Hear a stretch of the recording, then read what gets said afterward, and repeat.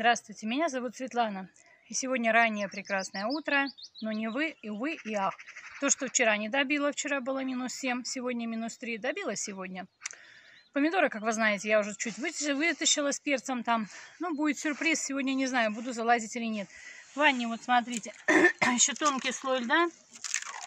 Видите? Вчера был в три раза больше. Вы не представляете, укрывай, не укрывай тут. Огород, как видите, еще у нас не доделан, потому что сажать эффекта не вижу вообще никакого. Обещают вот сегодня будет ночью плюс один. ну да ладно, сады побило, вернее, это Калужская область. Всю смородину, все цвело, слива. Будем в этом году без урожая. Ну ничего страшного, в том году было много, так что осталось. И поговорим сегодня о световом дне курочки. Многие спрашивают, что сейчас делать со светом. Вроде бы уже надо убавлять. Надо не убавлять, надо выключать. Потому что рассвет начинается, я вчера смотрела, в 4.53, то есть 5 утра, им этого достаточно. И вечер у нас увеличился. У взрослых кур я свет выключила уже в конце апреля. Все, ничего им не надо, они сами по солнцу заходят. Что насчет цыплят? Вот этим цыплятам два месяца. Это ливенские ситцевые, тут помесных моих чуть-чуть.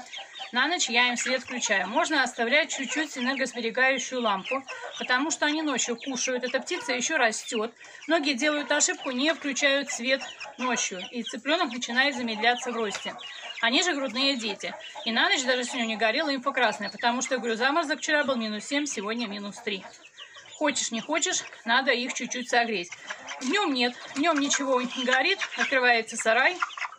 Солнце сейчас, видите, прекрасно светит, и они сами себе гуляют. Они уже оперены полностью. Видите?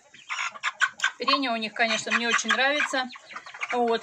Кормлю я их шкаролинским комбикормом.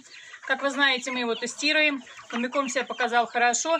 Особенно хорошо он показал на оперение. Там состав протеина, белка очень хороший. А вот. Так что вот этим на ночь оставляем, днем выключаем. Пойдем к другим. Вот смотрите, это вот у меня мои последние поколения. Им три недели. Они у меня сидят еще в доме на кухне. Там, конечно, кавардак с ними. Но жду пересадить индюков, а их в рудер. Вот этим свет обязательно круглосуточно. Хочу я этого, не хочу. У них горит лампочка тоже. Видите, они уже тоже начали оперяться. Это вот Ленинская. А это вот мои получились черные, видите? От доминанта. Вот. Этим свет горит постоянно.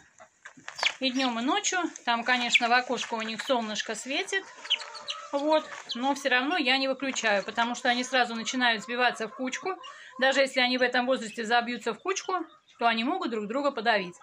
Так что тут надо думать, что мы хотим беречь электроэнергию или получить здоровых птенцов. Вот. И до трех с половиной месяцев вот тем у меня свет ночью им все равно горит. Слабенькая лампочка. Во-первых, они в полутьме не видят, они боятся, шарахаются, будут пугливыми. А так они спокойно ночуют, спокойно сами заходят, спокойно сами выходят.